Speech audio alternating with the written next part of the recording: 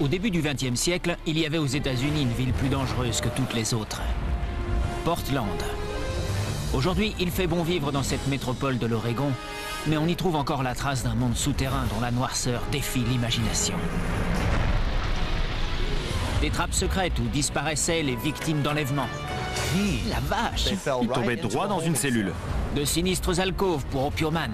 C'est ici qu'on fumait l'opium Les dernières planques des bootleggers. Il reste pas mal de choses. Je vois des bouteilles de whisky. Et une salle de combat clandestine. Le sous-sol de Portland recèle plus de coins sombres que les cachots moyenâgeux. Et le danger n'est jamais loin. L'atmosphère est dangereuse, il va falloir remonter en surface. Le passé tumultueux de Portland est toujours là, quelque part, à quelques centimètres de la surface. Nous allons encore une fois remonter le temps pour découvrir les contrebandiers de Portland.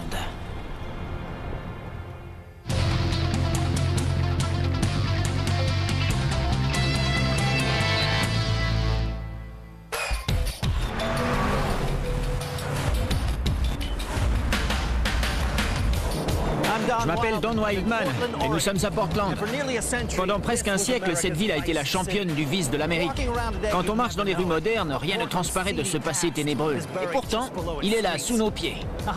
Il y a un siècle de cela, Portland était l'une de ces redoutables villes portuaires où on kidnappait les gens pour les revendre comme esclaves et où le jeu, la drogue, la prostitution et le meurtre étaient monnaie courante. Aujourd'hui, Portland est une ville modèle, reprête, paisible et ouverte. Mais sous ses cafés et ses librairies tendances, tout un passé sombre et glauque attend d'être redécouvert. L'Ouest américain regorge de récits extraordinaires. Mais l'histoire de cette petite colonie longtemps appelée The Clearing est sans doute l'une des plus hautes en couleur. Ce bout de côte déserte allait bientôt devenir un port florissant. Mais le vernis civilisé des rues recouvrait une réalité souterraine bien plus barbare. À la fin du 19e siècle, Portland était l'un des ports les plus dangereux du monde. Les marins qui faisaient escale ici étaient sûrs d'y passer un bon moment. Bars clandestins, drogue, bordel, tout un monde s'affairait impunément sous les pieds même de la police locale. Mais pour ces rudes marins, succomber à l'attrait du plaisir pouvait se révéler fatal. Ils flânaient dans un bar ou un bordel et soudain, une trappe s'ouvrait sous leurs pieds et les précipitait dans une geôle souterraine. Ils ne le savaient pas encore, mais ils venaient d'être shanghaïsés. La pratique de la shanghaïsation était courante dans les ports de la côte ouest. Ce terme baroque vient bien sûr de Shanghai, la plus grande ville de Chine. Et il remonte à l'époque des guerres de l'opium. Au 19e siècle, l'opium était alors prohibé. L'empereur de Chine l'a interdit un siècle plus tôt. Mais les puissances occidentales, attirées par ce commerce lucratif, n'en tiennent pas compte. Les Britanniques exportent des quantités phénoménales d'opium en Chine, abreuvant la population locale de drogue. En 1839, l'empereur furieux fait saisir plus de 20 000 caisses d'opium. La Grande-Bretagne répond coup pour coup, envoie sur place une puissante armée et oblige la Chine à lui céder le contrôle de plusieurs ports. Bientôt, d'autres puissances occidentales, dont la France, vont opérer depuis ces ports si convoités. Shanghai est désormais contrôlée par l'Occident. Elle devient un véritable lieu de perdition et sa popularité explose. Et Portland alors, quel est son rôle dans cette histoire? La Chine étant désormais ouverte au commerce avec l'Occident, les capitaines ont besoin de marins pour conduire leurs navires dans leur périple lucratif vers l'Orient. Mais comment convaincre les aventuriers de renoncer à l'appel de la ruée vers l'or pour faire voile vers Shanghai? Ces voyages au long cours prenaient parfois des années. Le salaire était notoirement bas et les conditions de vie à bord des vaisseaux étaient exécrables. Les armateurs engageaient des truands locaux pour kidnapper les hommes valides avant de les embarquer sur leurs bateaux. Ils se réveillaient au beau milieu du Pacifique avec une alternative terrible. Travailler à bord comme esclave ou être passé par-dessus bord.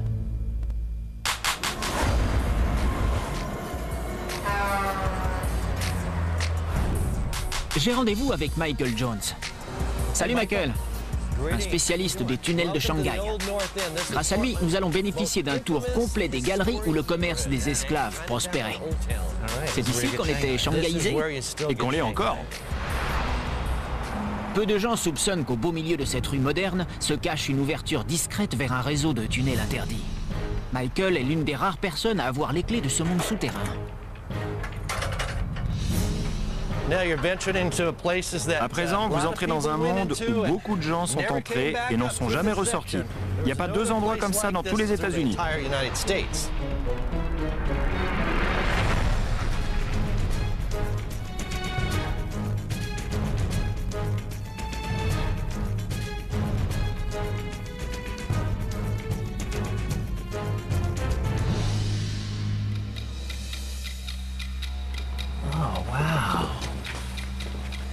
On est sous un restaurant, c'est ça Oui, on est dans les réserves du Hobos, juste au-dessus de nous. Mais dès qu'on atteindra la section en terre battue, on sera officiellement dans les tunnels de Shanghai. Ce réseau de tunnels s'étend sur 8 km sous la cité. On est bien dans les tunnels légendaires dont on parlait Exactement. C'est ici même. Ce réseau court sous les immeubles d'habitation et de bureaux modernes.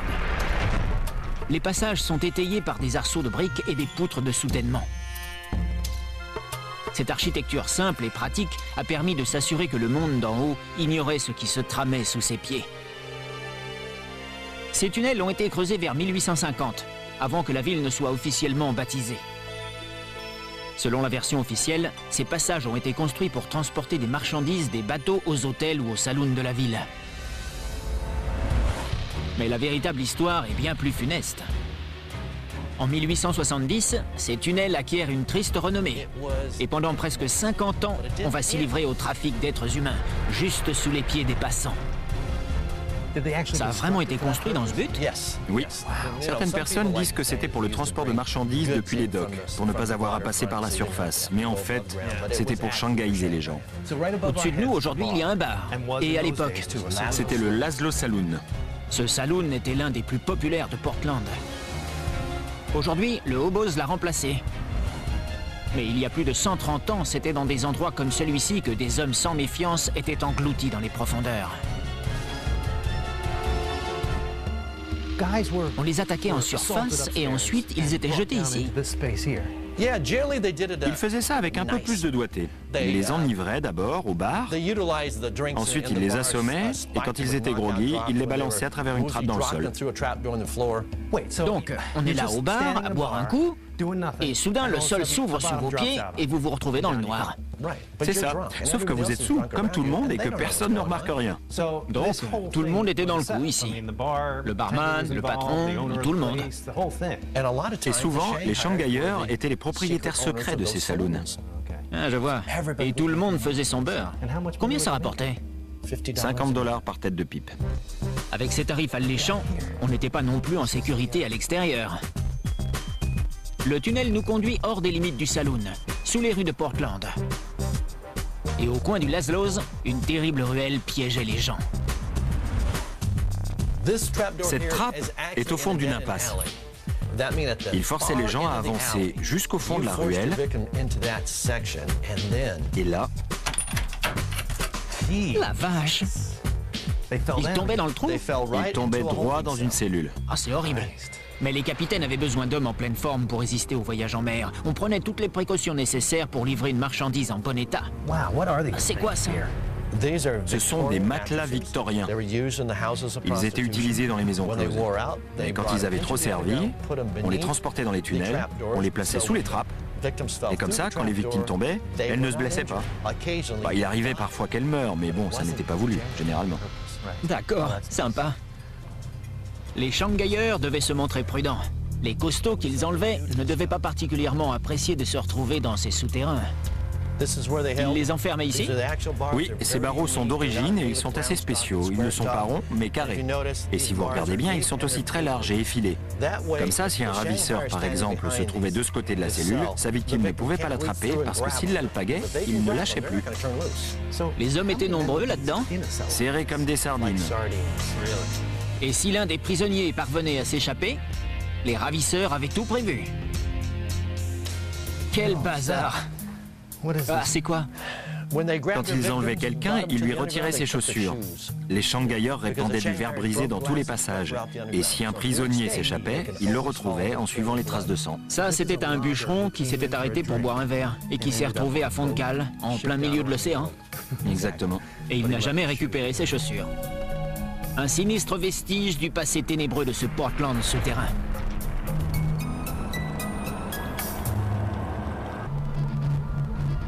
Il y a un siècle de cela, sous les rues de Portland, un labyrinthe de tunnels servait les sombres dessins des Shanghaiers. Ces redoutables brigands enlevaient des bûcherons ou des cow-boys de passage, les jetaient dans de sinistres cellules avant de les envoyer briquer le pont d'un navire en route pour Shanghai. Ces Shanghaiers étaient violents et imprévisibles. Ils entassaient parfois les hommes dans de minuscules cachots souterrains.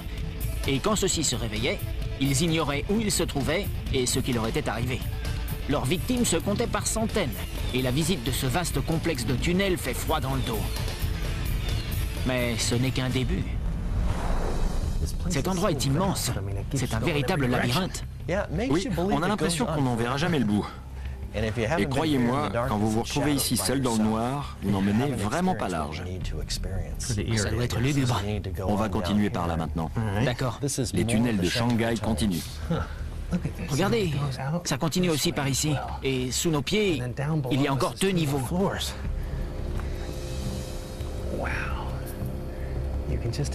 Il a dû se passer des trucs terrifiants ici.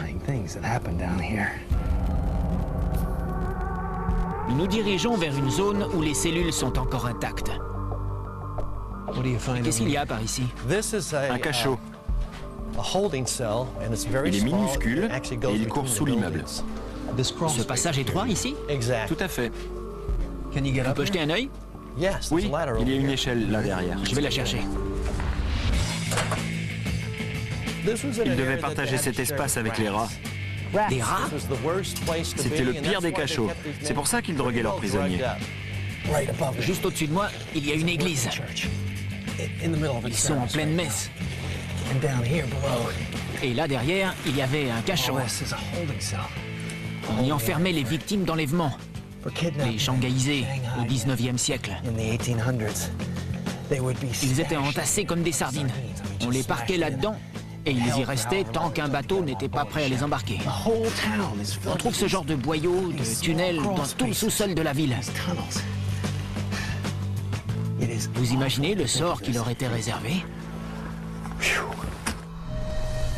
Les victimes étaient ensuite emmenées de force vers la rivière, où elles étaient vendues. Mais ces galeries souterraines n'abritaient pas que les funestes Shanghaiers. Nous sommes partis du sous-sol d'un ancien saloon pour nous retrouver sous les voies et les ruelles de Portland. À 3 mètres sous terre, à quelques pas de la prison des marchands d'esclaves, se trouvait une pièce au trafic encore plus lucratif que le commerce des hommes. Ça conduit où? On va dans un tout autre bâtiment. En fait, chaque fois qu'on franchit un passage voûté, c'est qu'on est entre deux immeubles ou qu'on change de bâtiment. D'accord. Où on est?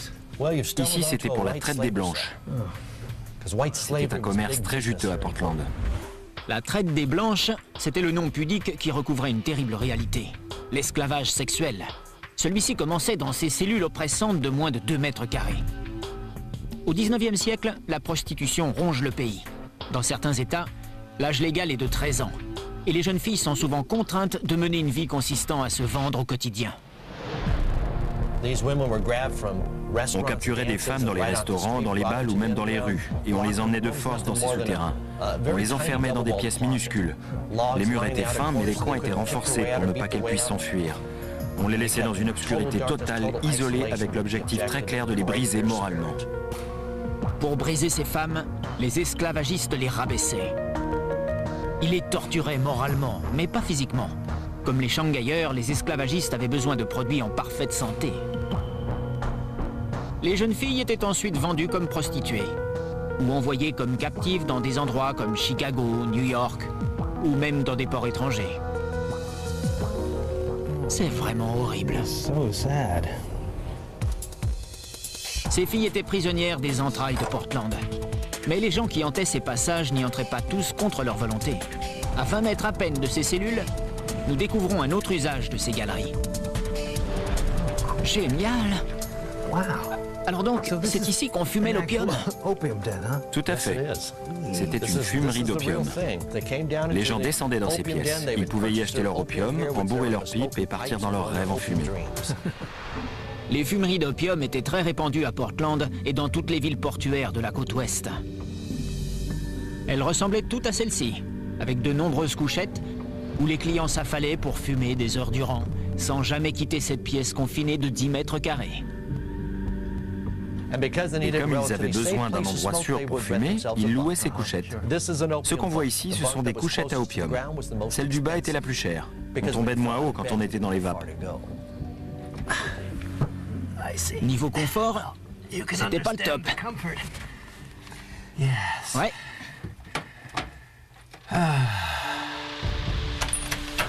Enlèvement, traite des blanches, fumerie d'opium. Les tunnels de Shanghai étaient le royaume de la corruption et du vice.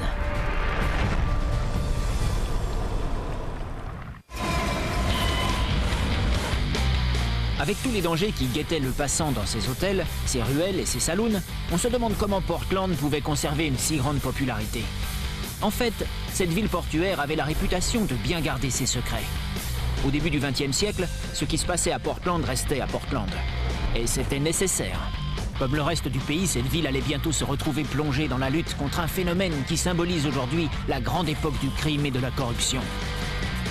En surface, la ville était une bourgade bourgeoise. Mais cette image convenable n'était qu'un leurre. En réalité, pendant la Prohibition, la ville regorgeait de plus d'alcool qu'elle n'en pouvait écluser. Et elle était alimentée par un réseau secret de contrebande qui opérait dans les ténèbres des souterrains. Les rangs des gangsters grossissaient partout dans la ville et le pays entier. Cette explosion du banditisme était liée à un combat pour les bonnes mœurs entamé 50 ans plus tôt. La prohibition commence en 1920, mais ses racines remontent aux années 1850, lorsque des groupes religieux s'unissent pour lutter contre l'alcoolisme. Ils vont prêcher dans presque tous les États et proposent une solution unique et radicale, interdire purement et simplement l'alcool. Mais la prohibition renferme bien d'autres périls. Pour le crime organisé, la loi est une véritable aubaine et à New York, Chicago et bien sûr à Portland, les gangs se multiplient et l'alcool coule à flot, en sous-main. J'ai rendez-vous avec James Louis, le gérant du plus vieux restaurant de Portland, Uber's. Pendant la Prohibition, il y a près de 90 ans, c'était son grand-père qui dirigeait l'établissement. Cette pièce n'a pas changé Pas depuis 1910. Le bâtiment est inscrit aux monuments nationaux et nous sommes en activité depuis maintenant 128 ans. Au départ, cet endroit est un saloon typique de l'Ouest américain. Mais avec l'établissement de la Prohibition en 1920, le Hubers change son fusil d'épaule. Au lieu de fermer, le saloon est reconverti en restaurant. Et c'est désormais sous terre que se passent les choses sérieuses. Nous passons une porte secrète pour descendre à 3 mètres sous terre et remonter 90 ans en arrière jusqu'à un authentique speakeasy.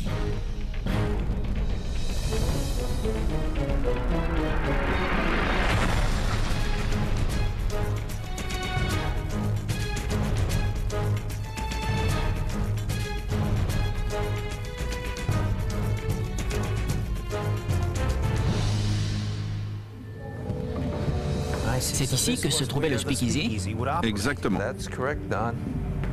Vous savez un peu à quoi ça ressemblait? D'après ce que j'ai compris, on avait peint des paysages tropicaux sur les murs.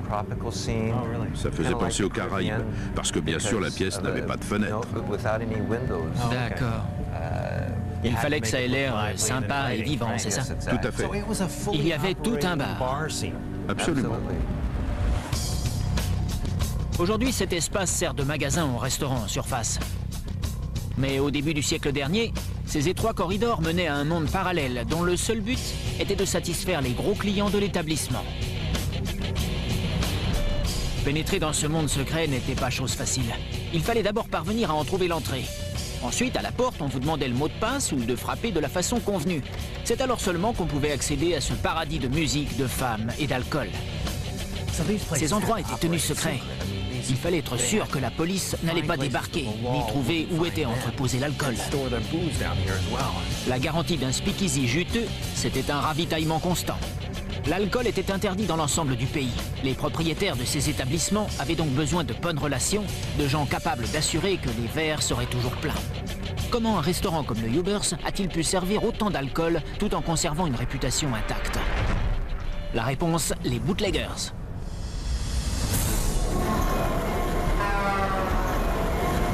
La contrebande d'alcool était le commerce le plus important des années folles. C'est elle qui a fait de gangsters comme Al Capone et Bugs Moran des millionnaires. l'importation de rhum des Caraïbes, de whisky canadien, de gin anglais et de champagne français pouvait rapporter 200 000 dollars par cargaison, à une époque où 200 dollars par mois était un bon salaire. À Portland, l'alcool arrivait principalement par mer, dans des cargos qui jetaient l'ancre juste en dehors des eaux américaines. Des petits bateaux venaient ensuite s'y arrimer pour leur acheter de l'alcool. Une fois chargés, ces navires de contact devaient échapper aux gardes-côtes qui patrouillaient à proximité du port. Mais avec leurs petits bateaux rapides, les contrebandiers n'avaient pas grand-chose à craindre. La précieuse marchandise était bien protégée.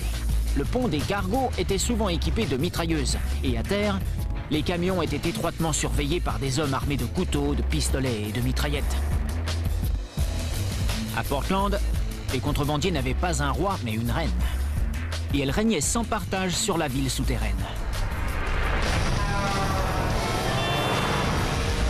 Aujourd'hui, peu de gens savent que sous cette imprimerie sans prétention se cache le sanctuaire secret de l'un des pires bootleggers que l'Amérique ait connu. Venez, je vais vous montrer. Dave Campa est propriétaire de l'imprimerie située en surface. En 1984, il a découvert qu'il y a presque 80 ans, les sous-sols de la maison recelaient un tout autre genre d'entreprise. C'est à quelques mètres de profondeur que se trouvait le centre des opérations du plus célèbre groupe de contrebandiers de Portland. Ici, nous sommes dans la partie la plus récente. Oui, on pense que cette annexe a été construite vers la fin des années 40. Au départ, ce devait être une halle de marchandises, un marché italien. À l'époque, cette partie de Portland était un quartier italien. Il y avait des étals de boucherie. Et d'ailleurs, le panneau d'origine est resté fixé ici, sur la porte. Jack Spratt dit Pour faire bonne chair, il faut de la bonne viande. Ce panneau a toujours été là. Pas mal comme slogan. Mais ça, c'était en surface. Oui.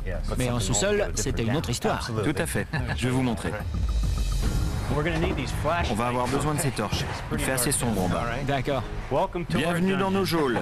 Attention, vous mettez les pieds, il fait noir. À 3 mètres sous terre, on trouve les vestiges de ce qui était autrefois un bastion de la contrebande surnommé les geôles.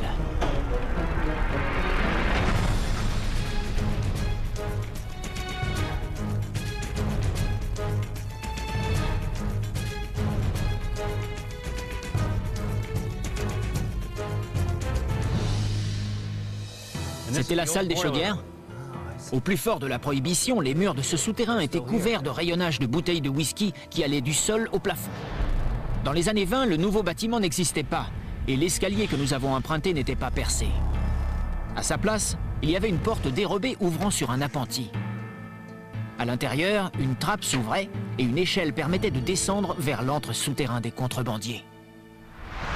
La salle des chaudières était l'emplacement parfait pour stocker l'alcool qui allait étancher la soif de la ville. Cette machine est là depuis la construction, en 1927.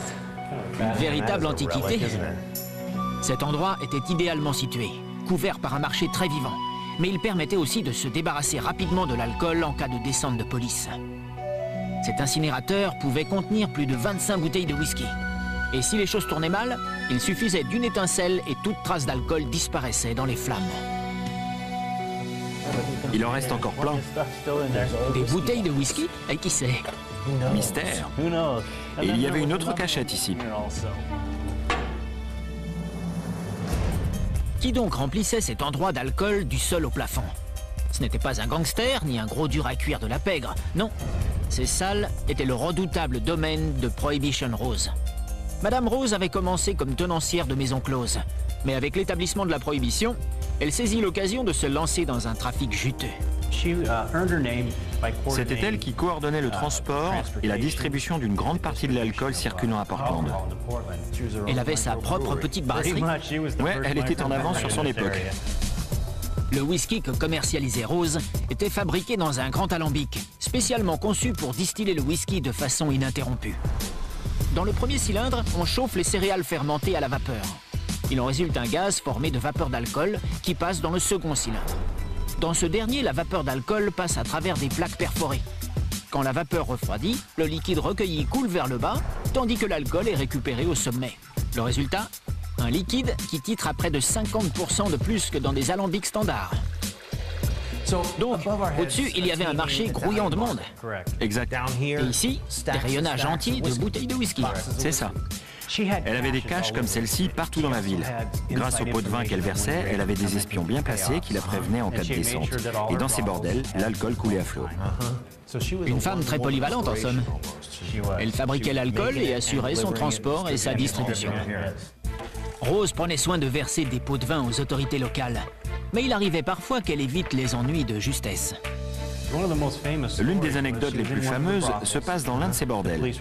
La police arrivait et les hommes couraient partout en se demandant que faire avec l'alcool. Rose leur a dit « mettez toutes les bouteilles au milieu de la pièce ». Ils se sont exécutés, puis elle s'est avancée au milieu, a soulevé sa robe et a recouvert les bouteilles.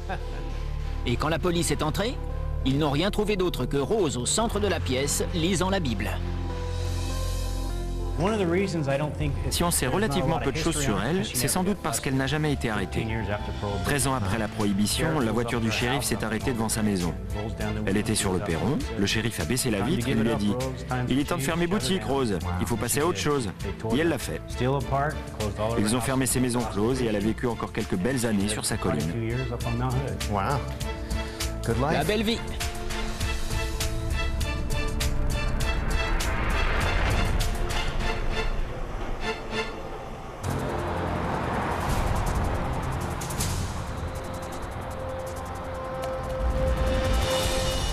Portland, la grande époque du crime organisé et de la corruption a révolu.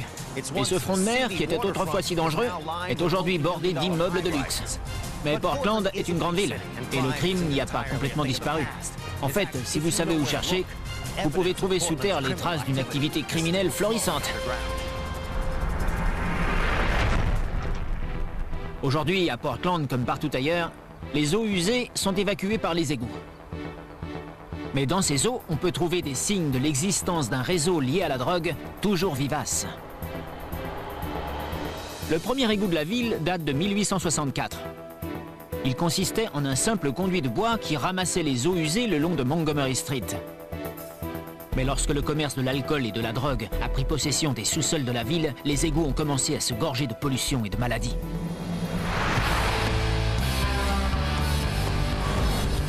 Les choses n'ont pas changé. J'ai rendez-vous avec Chris Schindler.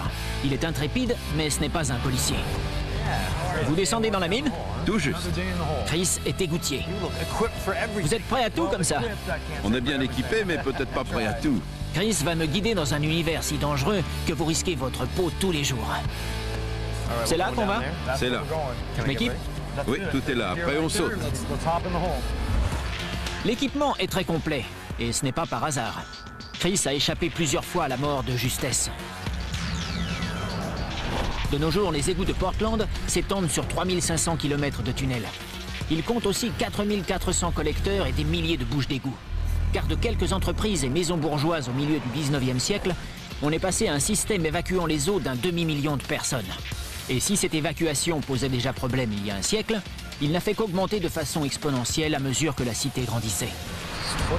Quel est votre pire souvenir des égouts La montée des eaux, c'est le plus effrayant.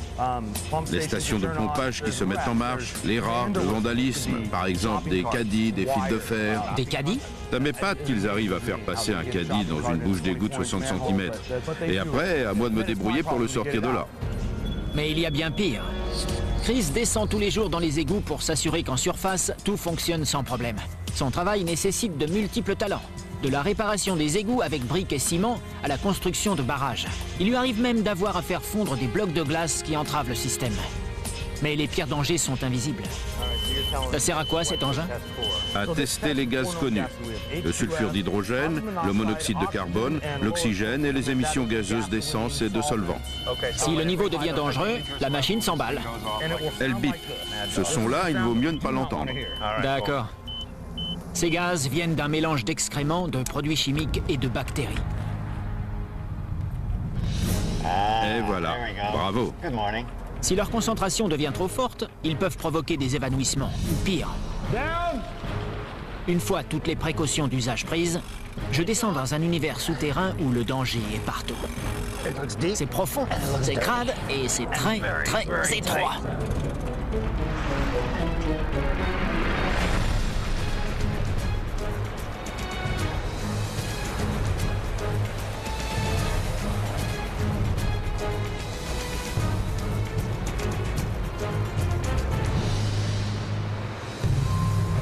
J'arrive Nous sommes maintenant à 10 mètres sous les rues de Portland, au beau milieu d'un réseau de 3500 km de détritus et d'ordures. On est prêt. Alors, c'est parti Selon Chris, l'une des forces les plus destructrices à l'œuvre dans ces tunnels est le trafic de drogue. Et notamment d'une drogue appelée méthamphétamine ou crystal meth.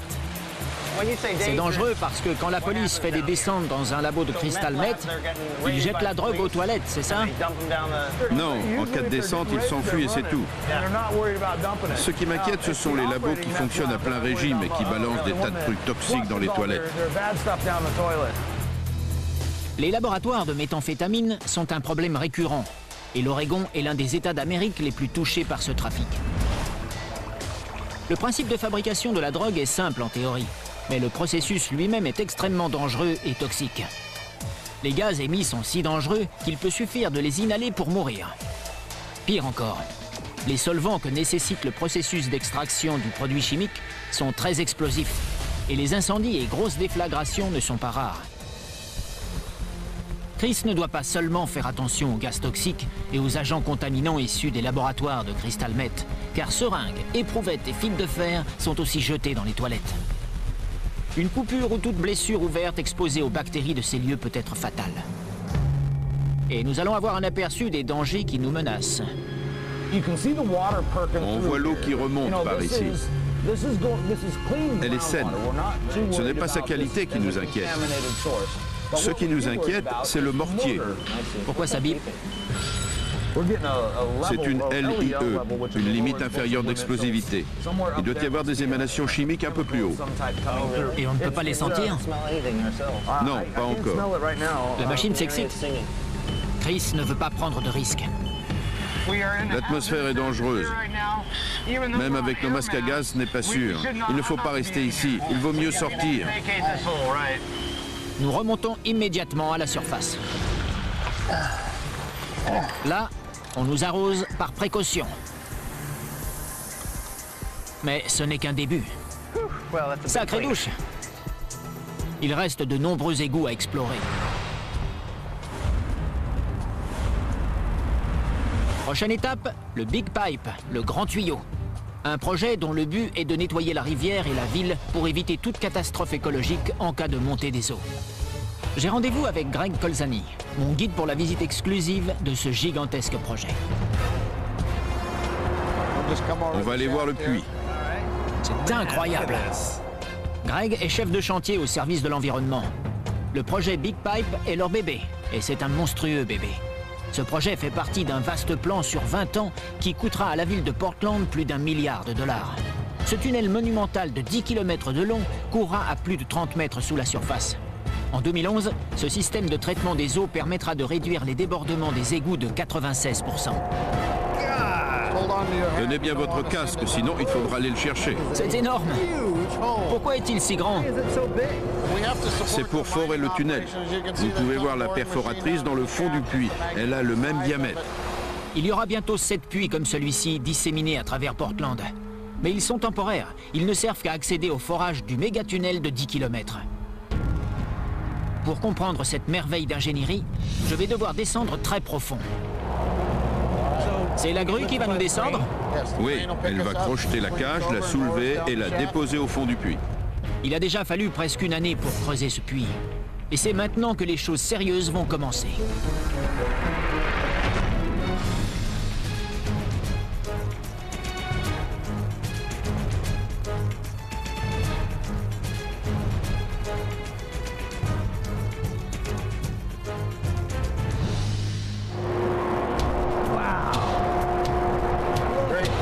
Hein.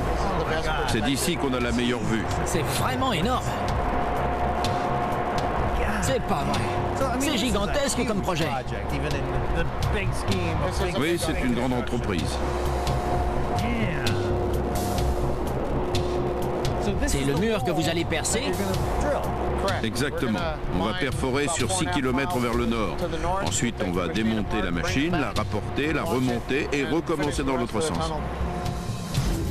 Pour enrayer la pollution et prévenir de graves inondations, la ville va se servir d'une machine extrêmement sophistiquée. Cette perforatrice ne se contente pas de creuser une galerie. Elle va aussi étayer le tunnel avec une couche de béton. Chaque anneau est composé de 7 segments que la machine va assembler. Chacun de ces blocs pèse plus d'une tonne. Pour les soulever, la machine est équipée d'un bras à air comprimé qui aspire les blocs de béton, les dirige vers l'endroit voulu et les fixe en place.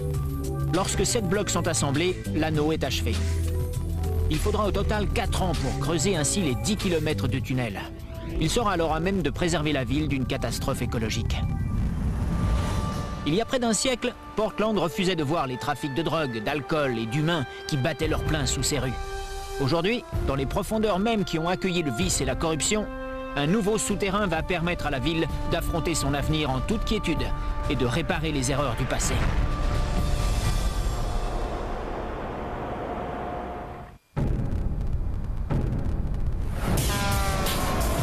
Dans les années 20, la prohibition a favorisé l'émergence rapide d'un syndicat du crime composé de contrebandiers, de gangsters et de fonctionnaires corrompus.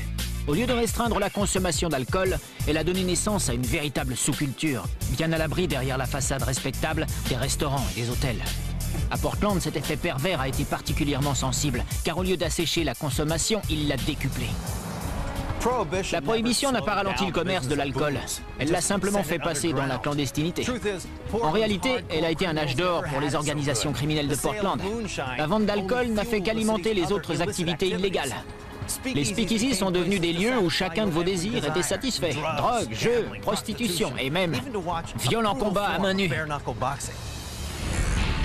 Les origines de la boxe remontent à la nuit des temps. Ce sport était déjà pratiqué par la civilisation minoenne au XVe siècle avant notre ère. On suppose que les combats à main nue existaient déjà 3000 ans avant notre ère en Égypte et en Samarie. Mais ce sont surtout les Jeux Olympiques qui ont popularisé ce sport d'une rare violence à partir de 688 avant notre ère. À l'origine, ces matchs étaient organisés pour honorer les guerriers morts au combat et ils se pratiquaient avec des bandelettes de cuir enroulées autour des mains. À l'époque de la Prohibition, le combat à point nu devient une forme de bagarre organisée dont la seule et unique règle est « tout est permis ». Et à Portland, ces combats avaient leur grand stade. Aujourd'hui, ce pâté d'immeubles a recouvert la salle de combat où seuls les véritables durs à cuire pouvaient survivre. Peu de gens savaient ce qui se tramait là-dessous. Ces lieux sont interdits au public, mais Loretta Turner, la gérante de l'immeuble, en connaît tous les secrets. Elle va me servir de guide pour la visite exclusive de ces lieux sans foi ni loi. Ce bloc d'immeubles était autrefois le Kenton Hotel, construit en 1905. Il avait été conçu pour les acheteurs de bétail qui venaient de tout le pays pour acquérir ici leurs troupeaux. Mais pendant qu'ils faisaient affaire dans les bureaux, les sous-sols résonnaient de cris furieux.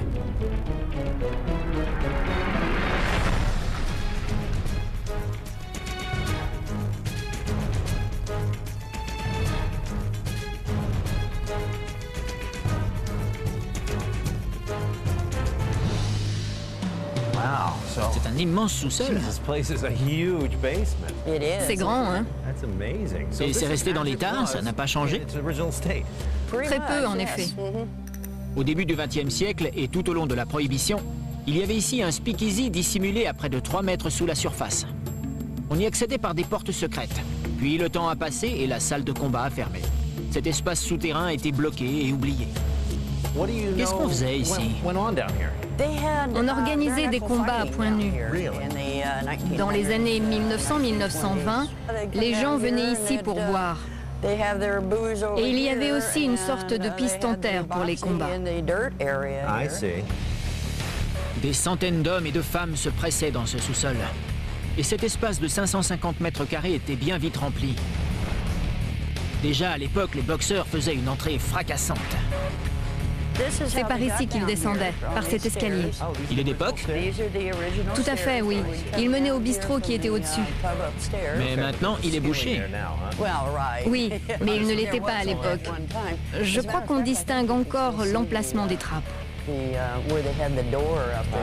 C'était une entrée assez monumentale finalement. Tout à fait. Donc les gens criaient, ils encourageaient leur héros, et les boxeurs arrivaient par là, c'est ça?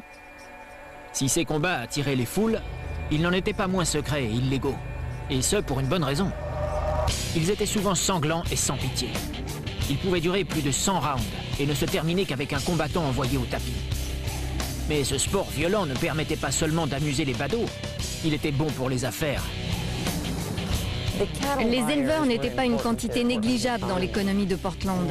Et ils ne voulaient pas se faire pincer ici. On leur préparait ce genre de divertissement parce qu'ils étaient importants. Avec les bureaux juste au-dessus, il leur était facile de descendre voir un match ou boire un verre. Mais il y avait un homme en particulier qui fascinait les habitués des lieux. À Portland, Billy Smith était une star. C'était un boxeur particulièrement vicieux. Pendant un match, il s'est retrouvé à bout de force. Il ne pouvait plus lever les bras. Mais son adversaire était toujours debout. On raconte qu'il s'est jeté sur lui pour lui arracher un bout d'oreille. C'est peut-être ce combat qui a valu à Billy Smith le titre de boxeur le plus vicieux de tous les temps. Sa réputation datait des années 1890, quand il était devenu champion en poids welter. C'était un boxeur plein de rage, et son ascension était surtout due à sa tactique brutale à base de coups de coude et autres coups bas. Quand il arrive à Portland, à l'aube du XXe siècle, il est déjà célèbre. Et sa réputation colle parfaitement avec une ville où les shanghailleurs et les fumeries d'opium vont bientôt laisser la place aux contrebandiers de la prohibition. Mais ces combats clandestins n'étaient que la partie émergée de l'iceberg. La totalité du quartier semble avoir été reliée par des tunnels souterrains. Il y avait d'autres speakeasy dans cette zone, et selon les habitants d'aujourd'hui, ces passages de briques étaient peut-être les portes d'un labyrinthe souterrain constitué de bars, de bordels et de salles de jeu, menant tous à cette salle de combat. Voici l'entrée d'un tunnel qui traversait la rue. Tout était prévu. Il gérait un peu les opérations alors Oui, absolument. Et les clients pouvaient descendre par ici pour éviter d'avoir des ennuis avec la police.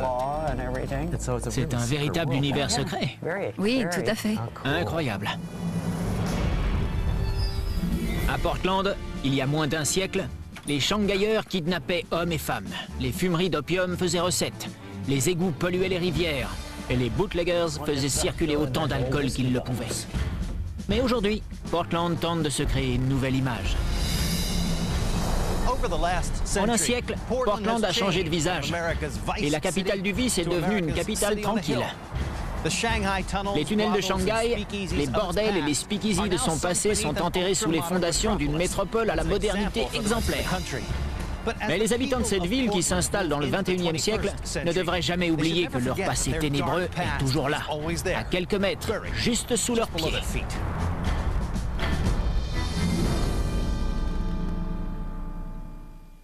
Aujourd'hui, ce pâté d'immeubles a recouvert la salle de combat où seuls les véritables durs à cuire pouvaient survivre.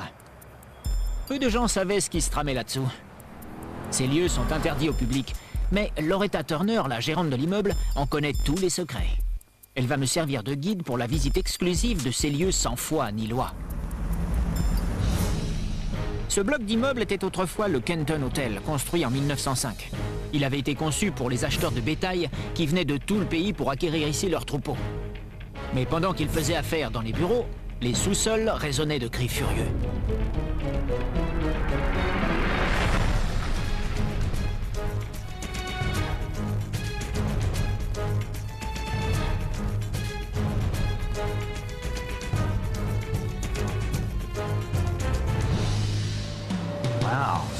Immense sous-sol. C'est grand, hein? Et c'est resté dans l'état, ça n'a pas changé Très peu, en effet. Au début du XXe siècle et tout au long de la Prohibition, il y avait ici un speakeasy dissimulé à près de 3 mètres sous la surface. On y accédait par des portes secrètes. Puis le temps a passé et la salle de combat a fermé. Cet espace souterrain a été bloqué et oublié. Qu'est-ce qu'on faisait ici? On organisait des combats à point nu. Dans les années 1900-1920, les gens venaient ici pour boire. Perçu des dangers qui nous menacent. On voit l'eau qui remonte par ici. Elle est saine. Ce n'est pas sa qualité qui nous inquiète. Ce qui nous inquiète, c'est le mortier. Pourquoi ça bip? C'est une LIE, une limite inférieure d'explosivité. Il doit y avoir des émanations chimiques un peu plus haut. Et on ne peut pas les sentir Non, pas encore. La machine s'excite. Chris ne veut pas prendre de risques.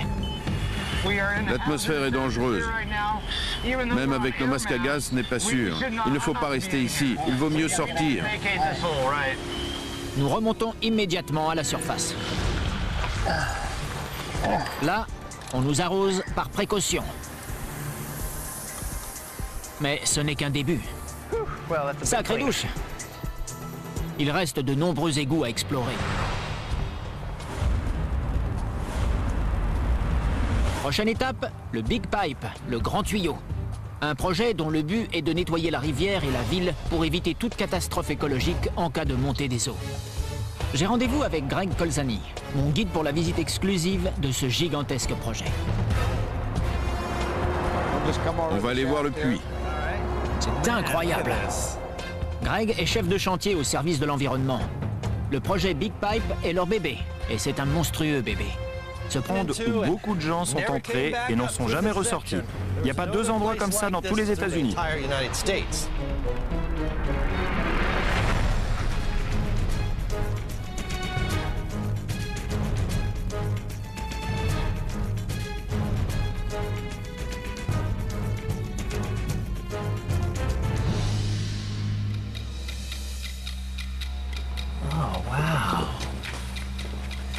On est sous un restaurant, c'est ça Oui, on est dans les réserves du Hobos, juste au-dessus de nous. Mais dès qu'on atteindra la section en terre battue, on sera officiellement dans les tunnels de Shanghai. Ce réseau de tunnels s'étend sur 8 km sous la cité. On est bien dans les tunnels légendaires dont on parlait Exactement. C'est ici même. Ce réseau court sous les immeubles d'habitation et de bureaux modernes. Les passages sont étayés par des arceaux de briques et des poutres de soutènement. Cette architecture simple et pratique a permis de s'assurer que le monde d'en haut ignorait ce qui se tramait sous ses pieds. Ces tunnels ont été creusés vers 1850, avant que la ville ne soit officiellement baptisée. Selon la version officielle, ces passages ont été construits pour transporter des marchandises des bateaux aux hôtels ou aux saloons de la ville. Mais la véritable histoire est bien plus funeste. Pour lutter contre l'alcoolisme, ils vont prêcher dans presque tous les États et proposent une solution unique et radicale. Interdire purement et simplement l'alcool. Mais la prohibition renferme bien d'autres périls. Pour le crime organisé, la loi est une véritable aubaine et à New York, Chicago et bien sûr à Portland, les gangs se multiplient et l'alcool coule à flot, en sous-main. J'ai rendez-vous avec James Louis, le gérant du plus vieux restaurant de Portland, Uber's. Pendant la Prohibition, il y a près de 90 ans, c'était son grand-père qui dirigeait l'établissement. Cette pièce n'a pas changé Pas depuis 1910. Le bâtiment est inscrit aux monuments nationaux et nous sommes en activité depuis maintenant 128 ans. Au départ, cet endroit est un saloon typique de l'Ouest américain. Mais avec l'établissement de la Prohibition en 1920, le Hubers change son fusil d'épaule. Au lieu de fermer, le saloon est reconverti en restaurant. Et c'est désormais sous terre que se passent les choses sérieuses. Nous passons une porte secrète pour descendre à 3 mètres sous terre et remonter 90 ans en arrière jusqu'à un authentique speakeasy.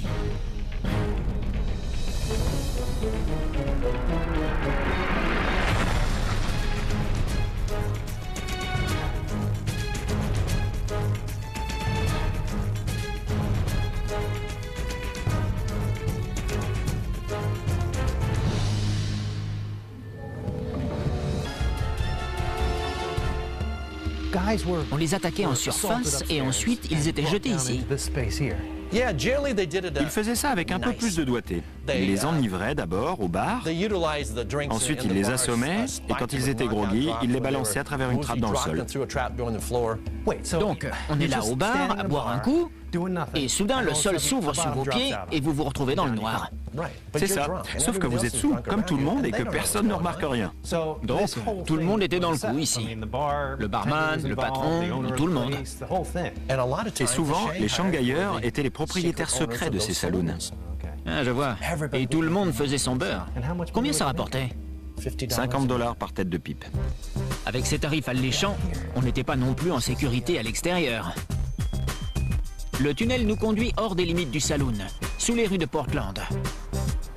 Et au coin du Laszlo's, une terrible ruelle piégeait les gens. Cette trappe est au fond d'une impasse. Il forçait les gens à avancer jusqu'au fond de la ruelle. Et là...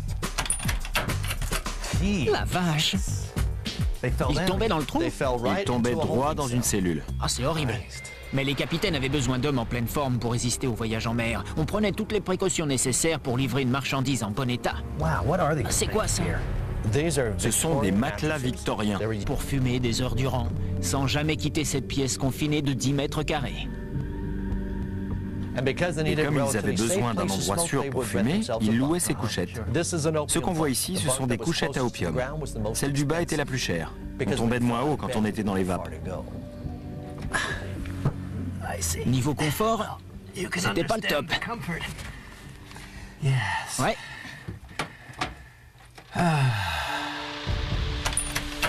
Enlèvement, traite des blanches, fumerie d'opium. Les tunnels de Shanghai étaient le royaume de la corruption et du vice.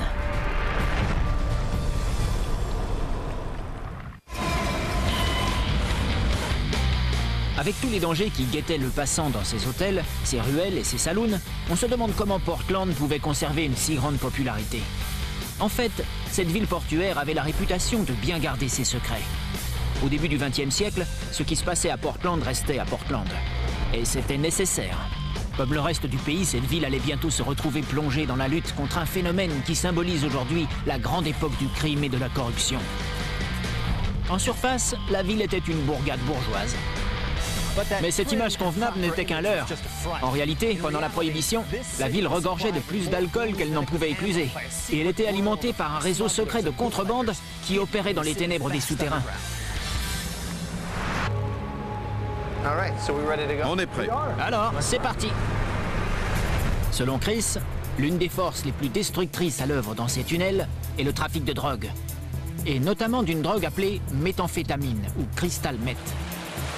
C'est dangereux parce que quand la police fait des descentes dans un labo de cristal meth, ils jettent la drogue aux toilettes, c'est ça Non, en cas de descente, ils s'enfuient et c'est tout. Ce qui m'inquiète, ce sont les labos qui fonctionnent à plein régime et qui balancent des tas de trucs toxiques dans les toilettes. Les laboratoires de méthamphétamine sont un problème récurrent et l'Oregon est l'un des États d'Amérique les plus touchés par ce trafic. Le principe de fabrication de la drogue est simple en théorie mais le processus lui-même est extrêmement dangereux et toxique. Les gaz émis sont si dangereux qu'il peut suffire de les inhaler pour mourir. Pire encore, les solvants que nécessite le processus d'extraction du produit chimique sont très explosifs et les incendies et grosses déflagrations ne sont pas rares. Chris ne doit pas seulement faire attention aux gaz toxiques et aux agents contaminants issus des laboratoires de Crystal Meth, car seringues, éprouvettes et fils de fer sont aussi jetés dans les toilettes. Une coupure ou toute blessure ouverte exposée aux bactéries de ces lieux peut être fatale. Et nous allons avoir un aperçu des dangers qui nous menacent. On voit l'eau qui remonte par ici. Elle est saine. à l'œuvre dans ces tunnels est le trafic de drogue. Et notamment d'une drogue appelée méthamphétamine ou crystal meth. C'est dangereux parce que quand la police fait des descentes dans un labo de cristal meth, ils jettent la drogue aux toilettes, c'est ça Non, en cas de descente, ils s'enfuient et c'est tout. Ce qui m'inquiète, ce sont les labos qui fonctionnent à plein régime et qui balancent des tas de trucs toxiques dans les toilettes. Les laboratoires de méthamphétamine sont un problème récurrent et l'Oregon est l'un des États d'Amérique les plus touchés par ce trafic. Le principe de fabrication de la drogue est simple en théorie mais le processus lui-même est extrêmement dangereux et toxique. Les gaz émis sont si dangereux qu'il peut suffire de les inhaler pour mourir. Pire encore, les solvants que nécessite le processus d'extraction du produit chimique sont très explosifs et les incendies et grosses déflagrations ne sont pas rares.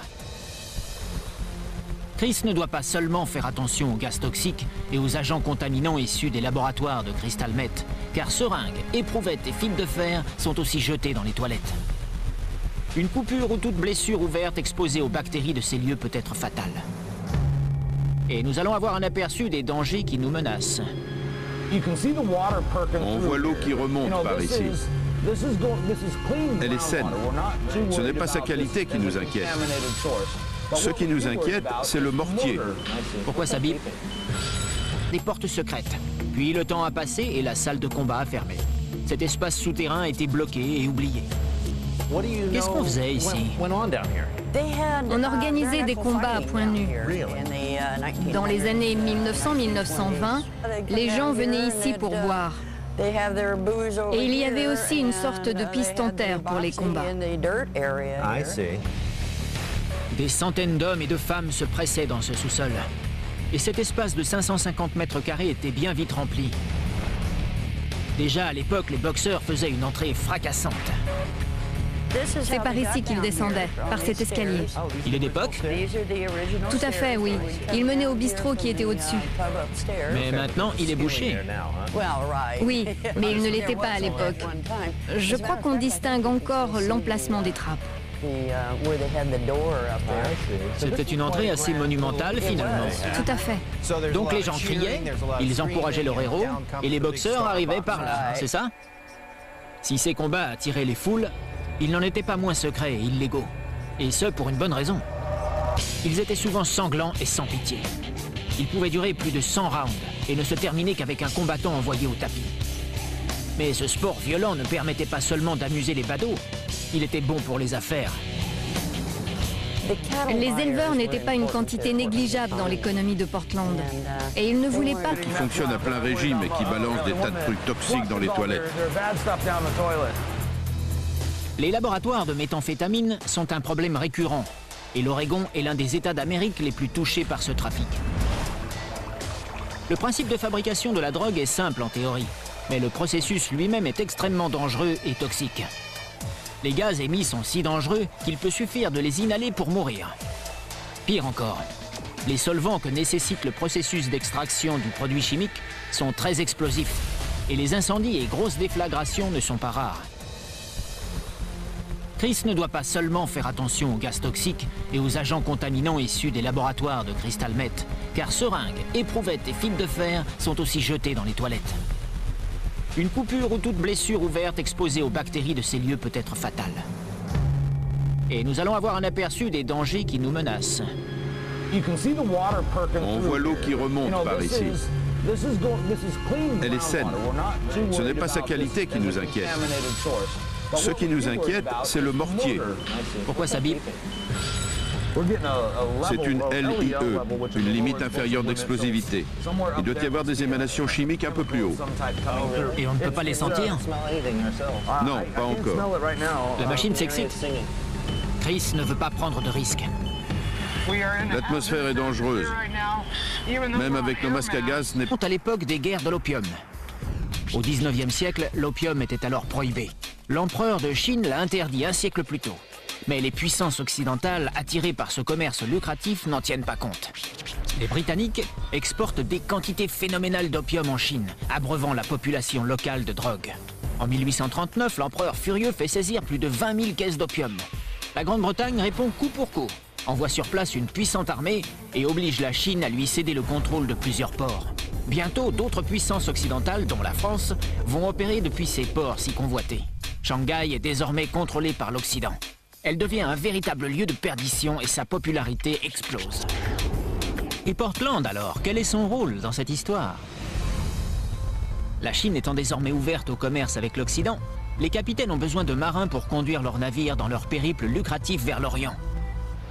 Mais comment convaincre les aventuriers de renoncer à l'appel de la ruée vers l'or pour faire voile vers Shanghai? Ces voyages au long cours prenaient parfois des années.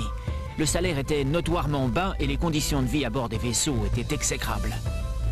Les armateurs engageaient des truands locaux pour kidnapper les hommes valides avant de les embarquer sur leurs bateaux. Ils se réveillaient au beau milieu du Pacifique avec une alternative terrible. Travailler à bord comme esclave ou être passé par-dessus bord.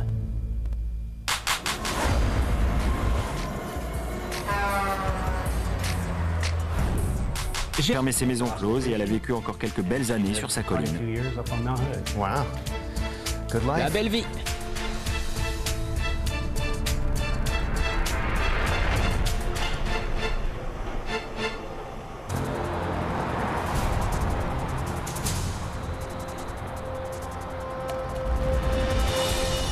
À Portland, la grande époque du crime organisé et de la corruption a révolu. Et ce front de mer, qui était autrefois si dangereux, est aujourd'hui bordé d'immeubles de luxe. Mais Portland est une grande ville, et le crime n'y a pas complètement disparu. En fait, si vous savez où chercher, vous pouvez trouver sous terre les traces d'une activité criminelle florissante. Aujourd'hui, à Portland comme partout ailleurs, les eaux usées sont évacuées par les égouts. Mais dans ces eaux, on peut trouver des signes de l'existence d'un réseau lié à la drogue toujours vivace. Le premier égout de la ville date de 1864. Il consistait en un simple conduit de bois qui ramassait les eaux usées le long de Montgomery Street. Mais lorsque le commerce de l'alcool et de la drogue a pris possession des sous-sols de la ville, les égouts ont commencé à se gorger de pollution et de maladies.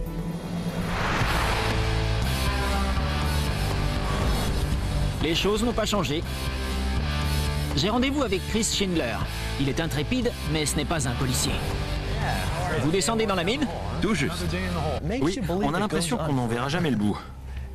Et croyez-moi, quand vous vous retrouvez ici seul dans le noir, vous n'en menez vraiment pas large. Ça doit être lugubre. On va continuer par là maintenant. D'accord. Les tunnels de Shanghai continuent. Regardez, ça continue aussi par ici. Et sous nos pieds, il y a encore deux niveaux.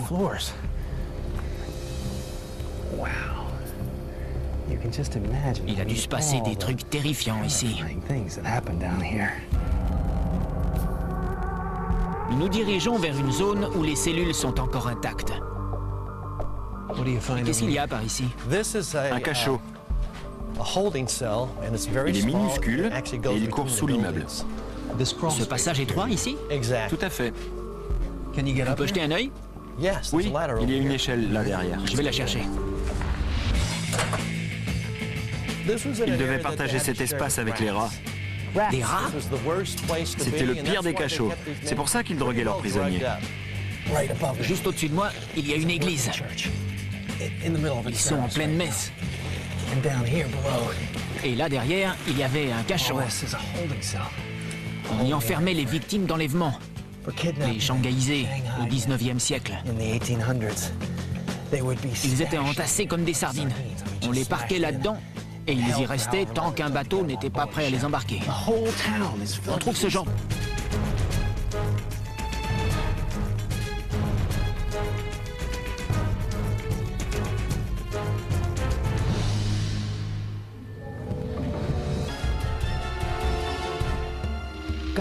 On les attaquait en surface et ensuite ils étaient jetés ici.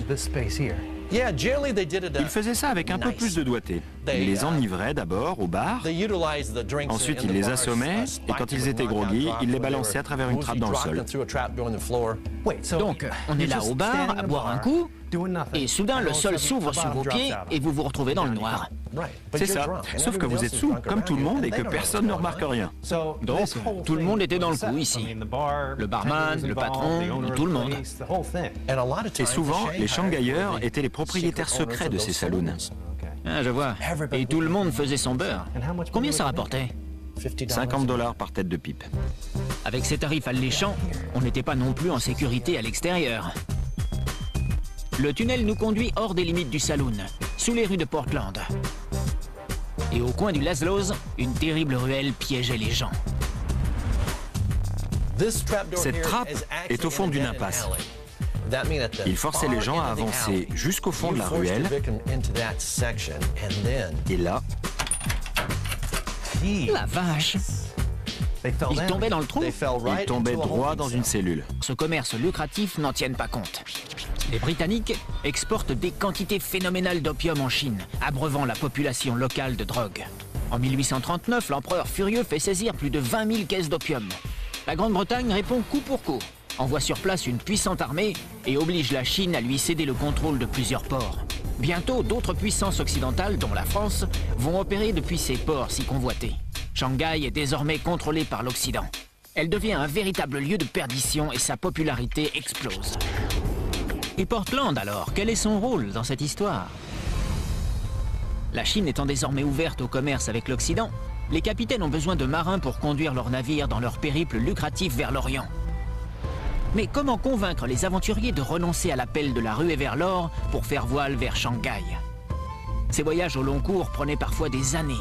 Le salaire était notoirement bas et les conditions de vie à bord des vaisseaux étaient exécrables. Les armateurs engageaient des truands locaux pour kidnapper les hommes valides avant de les embarquer sur leurs bateaux. Ils se réveillaient au beau milieu du Pacifique avec une alternative terrible. Travailler à bord comme esclave ou être passé par-dessus bord.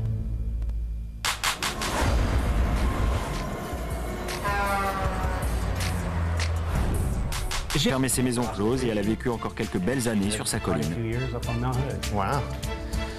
La belle vie. La prohibition, il y avait ici un speakeasy dissimulé à près de 3 mètres sous la surface. On y accédait par des portes secrètes. Puis le temps a passé et la salle de combat a fermé. Cet espace souterrain était bloqué et oublié. Qu'est-ce qu'on faisait ici? On organisait des combats à point nu.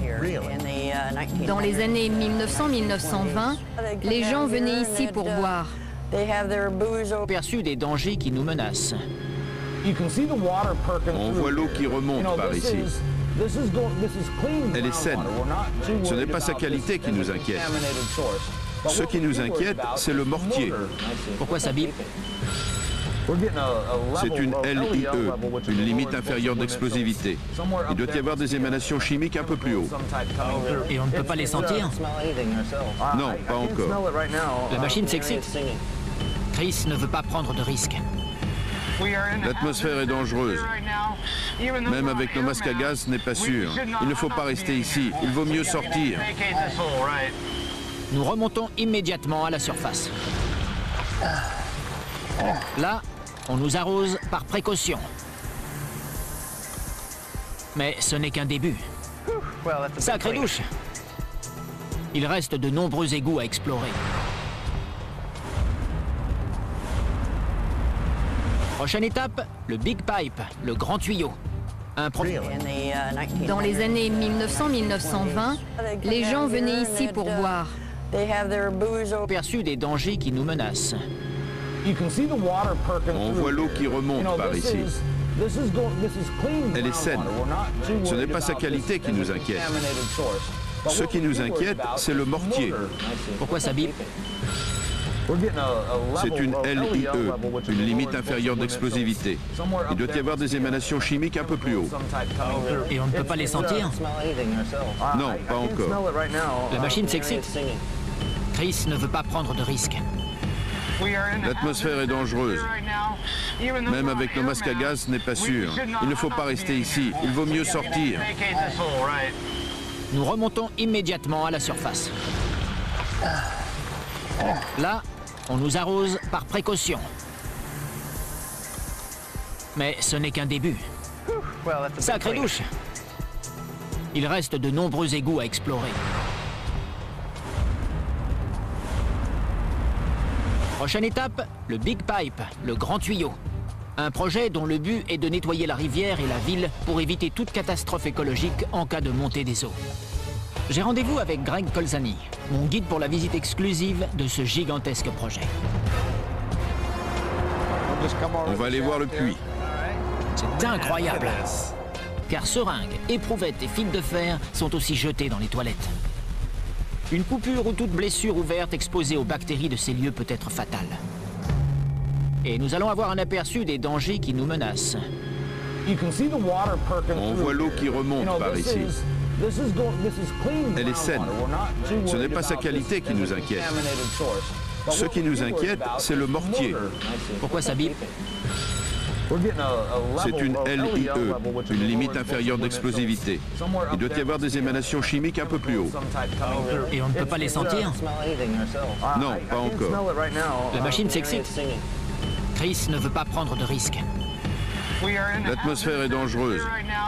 Même avec nos masques à gaz, ce n'est pas sûr. Il ne faut pas rester ici. Il vaut mieux sortir. Nous remontons immédiatement à la surface. Là, on nous arrose par précaution. Mais ce n'est qu'un début. Sacrée douche Il reste de nombreux égouts à explorer.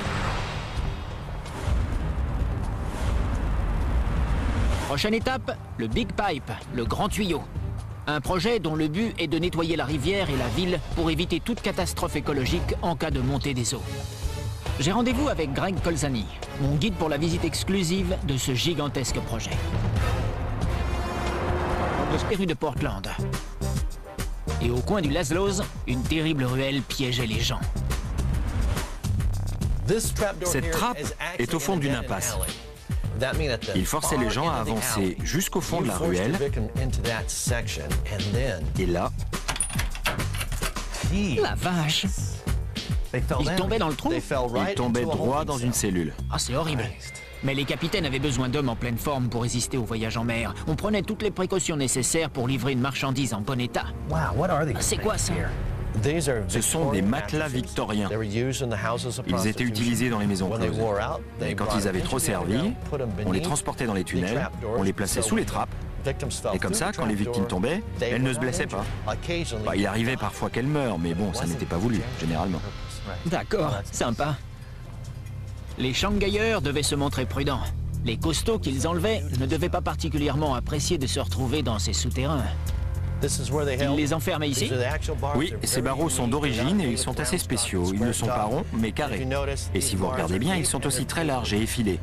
Comme ça, si un ravisseur, par exemple, se trouvait de ce côté de la cellule, sa victime ne pouvait pas l'attraper parce que s'il l'alpaguait, il ne lâchait plus.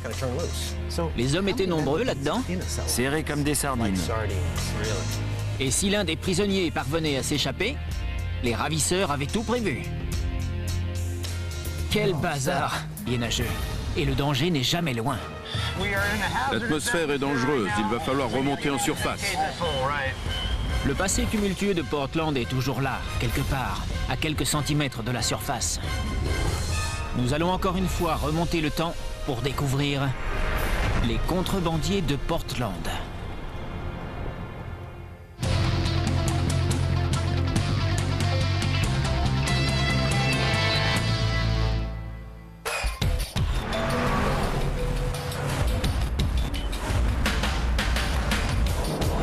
Je m'appelle Don Wildman et nous sommes à Portland. Pendant presque un siècle, cette ville a été la championne du vice de l'Amérique. Quand on marche dans les rues modernes, rien ne transparaît de ce passé ténébreux. Et pourtant, il est là, sous nos pieds. Il y a un siècle de cela, Portland était l'une de ces redoutables villes portuaires où on kidnappait les gens pour les revendre comme esclaves et où le jeu, la drogue, la prostitution et le meurtre étaient monnaie courante. Aujourd'hui, Portland est une ville modèle, proprette, paisible et ouverte. Mais sous ses cafés et ses librairies tendances, tout un passé sombre et glauque attend d'être redécouvert. L'Ouest américain regorge de récits extraordinaires. Mais l'histoire de cette petite colonie longtemps appelée The Clearing est sans doute l'une des plus hautes en couleur. Ce bout de côte déserte allait bientôt devenir un port florissant c'était un ravitaillement constant. L'alcool était interdit dans l'ensemble du pays. Les propriétaires de ces établissements avaient donc besoin de bonnes relations, de gens capables d'assurer que les verres seraient toujours pleins. Comment un restaurant comme le Hubers a-t-il pu servir autant d'alcool tout en conservant une réputation intacte? La réponse, les bootleggers.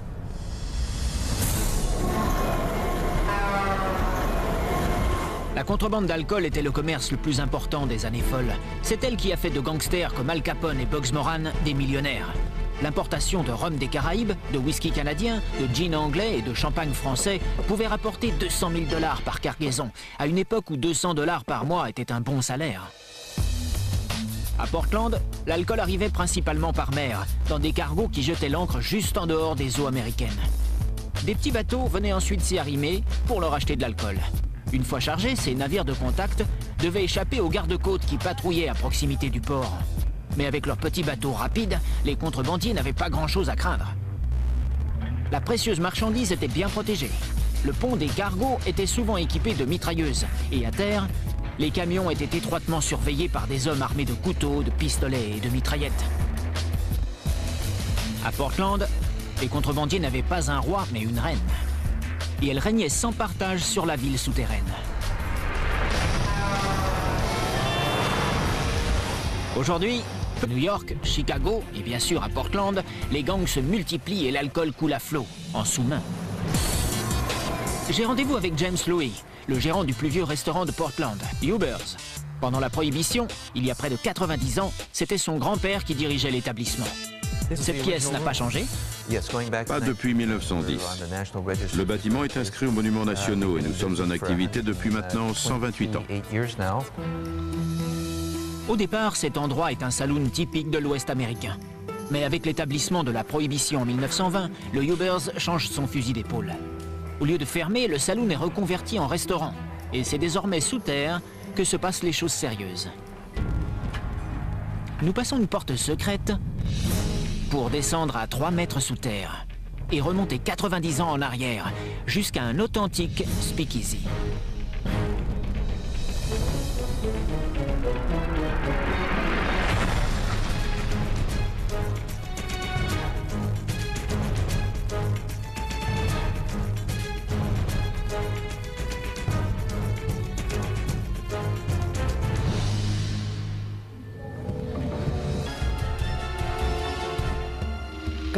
On les attaquait en surface et ensuite ils étaient jetés ici.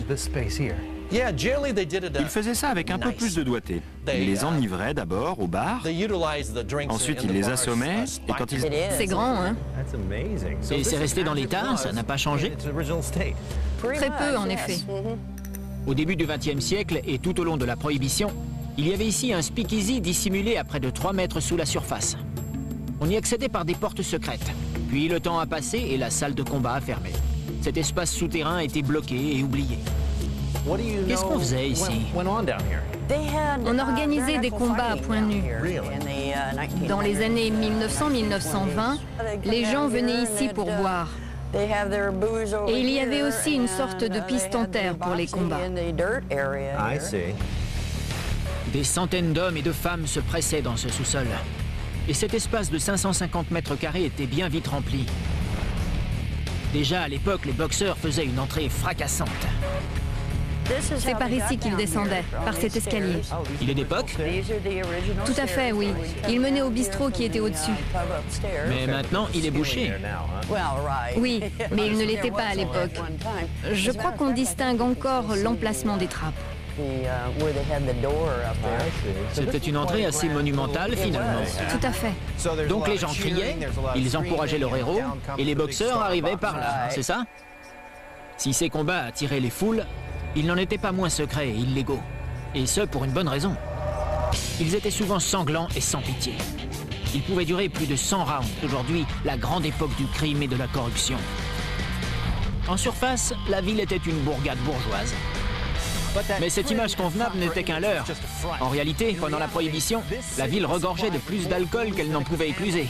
Et elle était alimentée par un réseau secret de contrebande qui opérait dans les ténèbres des souterrains. Les rangs des gangsters grossissaient partout dans la ville et le pays entier. Cette explosion du banditisme était liée à un combat pour les bonnes mœurs entamé 50 ans plus tôt. La prohibition commence en 1920, mais ses racines remontent aux années 1850, lorsque des groupes religieux s'unissent pour lutter contre l'alcoolisme. Ils vont prêcher dans presque tous les États et proposent une solution unique et radicale, interdire purement et simplement l'alcool.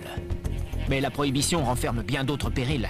Pour le crime organisé, la loi est une véritable aubaine et à New York, Chicago et bien sûr à Portland, les gangs se multiplient et l'alcool coule à flot, en sous-main.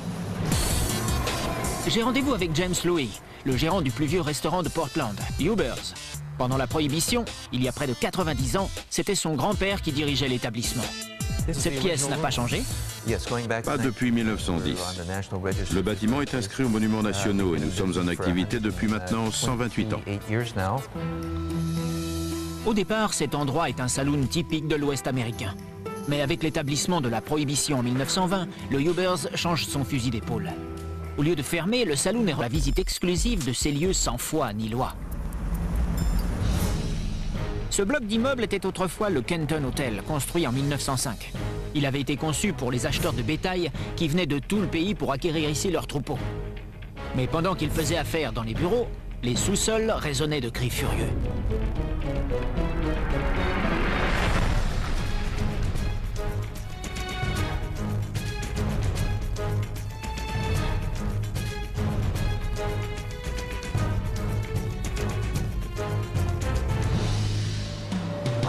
C'est un immense sous-sol.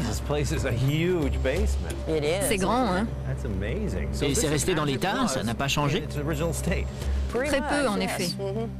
Au début du XXe siècle et tout au long de la Prohibition, il y avait ici un speakeasy dissimulé à près de 3 mètres sous la surface. On y accédait par des portes secrètes. Puis le temps a passé et la salle de combat a fermé. Cet espace souterrain a été bloqué et oublié. Qu'est-ce qu'on faisait ici? On organisait des combats à point nu. Dans les années 1900-1920, les gens venaient ici pour boire. Et il y avait aussi une sorte de piste en terre pour les combats. Des centaines d'hommes et de femmes se pressaient dans ce sous-sol. Et cet espace de 550 mètres carrés était bien vite rempli. Déjà à l'époque, les boxeurs faisaient une entrée. En presque un siècle, cette ville a été la championne du vice de l'Amérique. Quand on marche dans les rues modernes, rien ne transparaît de ce passé ténébreux. Et pourtant, il est là, sous nos pieds.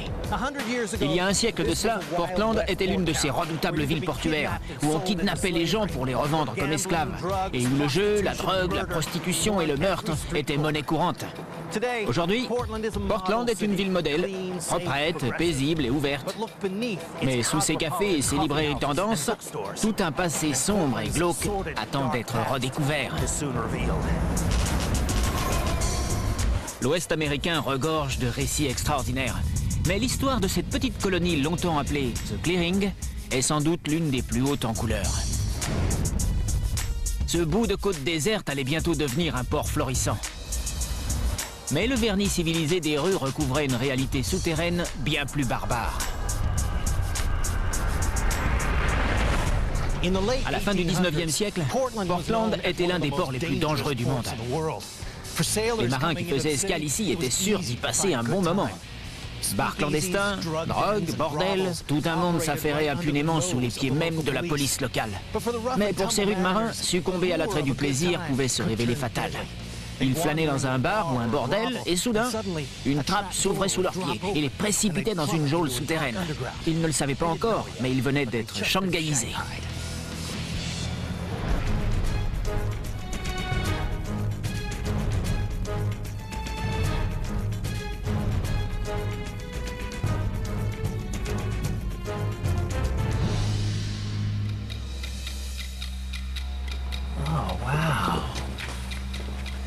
On est sous un restaurant, c'est ça Oui, on est dans les réserves du Hobos, juste au-dessus de nous. Mais dès qu'on atteindra la section en terre battue, on sera officiellement dans les tunnels de Shanghai. Ce réseau de tunnels s'étend sur 8 km sous la cité. On est bien dans les tunnels légendaires dont on parlait Exactement. C'est ici même. Ce réseau court sous les immeubles d'habitation et de bureaux modernes. Les passages sont étayés par des arceaux de briques et des poutres de soutènement. Cette architecture simple et pratique a permis de s'assurer que le monde d'en haut ignorait ce qui se tramait sous ses pieds. Ces tunnels ont été creusés vers 1850, avant que la ville ne soit officiellement baptisée. Selon la version officielle, ces passages ont été construits pour transporter des marchandises des bateaux aux hôtels ou aux saloons de la ville. Mais la véritable histoire est bien plus funeste. En 1870, ces tunnels acquièrent une triste renommée. Et pendant presque 50 ans, on va s'y livrer au trafic d'êtres humains, juste sous les pieds des passants. Dans les toilettes. Les laboratoires de méthamphétamine sont un problème récurrent. Et l'Oregon est l'un des États d'Amérique les plus touchés par ce trafic. Le principe de fabrication de la drogue est simple en théorie mais le processus lui-même est extrêmement dangereux et toxique. Les gaz émis sont si dangereux qu'il peut suffire de les inhaler pour mourir. Pire encore, les solvants que nécessite le processus d'extraction du produit chimique sont très explosifs et les incendies et grosses déflagrations ne sont pas rares. Chris ne doit pas seulement faire attention aux gaz toxiques et aux agents contaminants issus des laboratoires de Crystal Met, car seringues, éprouvettes et fils de fer sont aussi jetés dans les toilettes. Une coupure ou toute blessure ouverte exposée aux bactéries de ces lieux peut être fatale. Et nous allons avoir un aperçu des dangers qui nous menacent. On voit l'eau qui remonte par ici. Elle est saine. Triste à l'œuvre dans ces tunnels et le trafic de drogue. Et notamment d'une drogue appelée méthamphétamine ou crystal meth. C'est dangereux parce que quand la police fait des descentes dans un labo de cristal meth, ils jettent la drogue aux toilettes, c'est ça Non, en cas de descente, ils s'enfuient et c'est tout. Ce qui m'inquiète, ce sont les labos qui fonctionnent à plein régime et qui balancent des tas de trucs toxiques dans les toilettes. Les laboratoires de méthamphétamine sont un problème récurrent. Et l'Oregon est l'un des États qui le processus d'extraction du produit chimique sont très explosifs et les incendies et grosses déflagrations ne sont pas rares. Chris ne doit pas seulement faire attention aux gaz toxiques et aux agents contaminants issus des laboratoires de Crystal Met, car seringues, éprouvettes et fils de fer sont aussi jetés dans les toilettes. Une coupure ou toute blessure ouverte exposée aux bactéries de ces lieux peut être fatale. Et nous allons avoir un aperçu des dangers qui nous menacent. On voit l'eau qui remonte par ici. Elle est saine. à l'œuvre dans ces tunnels et le trafic de drogue et notamment d'une drogue appelée méthamphétamine ou crystal meth. C'est dangereux parce que quand la police fait des descentes dans un labo de crystal meth, ils jettent la drogue aux toilettes, c'est ça? Non, en cas de descente, ils s'enfuient et c'est tout. Ce qui m'inquiète, ce sont les labos qui fonctionnent à plein régime et qui balancent des tas de trucs toxiques dans les toilettes. Les laboratoires de méthamphétamine sont un problème récurrent et l'Oregon est l'un des États d'Amérique les plus touchés par ce trafic. Le principe de fabrication de la drogue est simple en théorie, mais le processus lui-même est extrêmement dangereux et toxique. Les gaz émis sont si dangereux qu'il peut suffire de les inhaler pour mourir. Pire encore, les solvants que nécessite le processus d'extraction du produit chimique sont très explosifs et les incendies et grosses déflagrations ne sont pas rares.